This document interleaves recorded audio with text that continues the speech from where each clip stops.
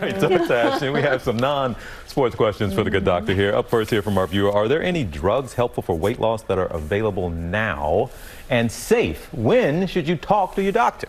So important. So, first of all, when should you talk to your doctor? If your body mass index is 30 or above, or you qualify as severely overweight or obese, I want to be crystal clear. This is not about willpower. This is not about intelligence. This is not about commitment. This is a medical condition. And so, there is a society of obesity medicine. People get board certified in this.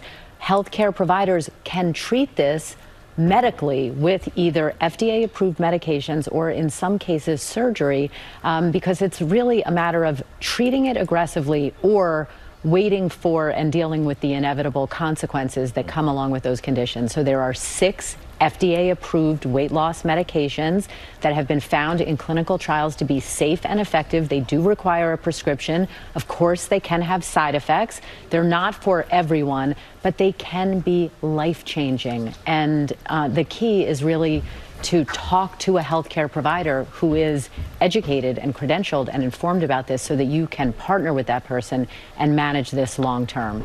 Um, I could talk about this for an hour because it is so important and so few people know that there is medical help. As I say to people, if you had high blood pressure, you would treat it. Mm. This should be thought of the same way. Drop the stigma, get medical help.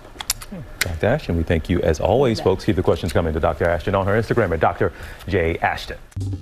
Well, hey there, GMA fans. Robin Roberts here. Thanks for checking out our YouTube channel. Lots of great stuff here. So go on, click the subscribe button right over, right over here to get more of awesome videos and content from GMA every day, anytime. We thank you for watching, and we'll see you in the morning on GMA.